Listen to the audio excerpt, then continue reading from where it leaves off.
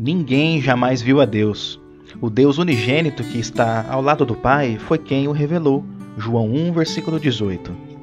Deus é espírito e não pode ser visto pelo ser humano. Ele é invisível e habita em luz inacessível. Ninguém jamais viu a Deus. Jesus, porém, o Deus unigênito que está no seio do Pai, veio ao mundo para nos revelar Deus. O Pai é Deus, o Filho é Deus, porém o Filho é distinto do Pai, para que ninguém possa dizer que o Filho é o Pai. Não somos politeístas.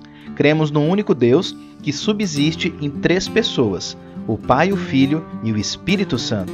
Esses três são um, são da mesma substância. Quando Jesus encarnou em forma humana, trouxe para nós graça sobre graça, e nele vimos o fulgor da glória do Pai. Nem Abraão, o amigo de Deus, nem Moisés, com quem o Senhor tratava face a face, puderam ver a glória de Deus em sua plenitude. A glória que nem Abraão nem Moisés puderam ver, agora é apresentada a nós em Jesus. Ele é o resplendor da glória e a exata expressão do ser de Deus.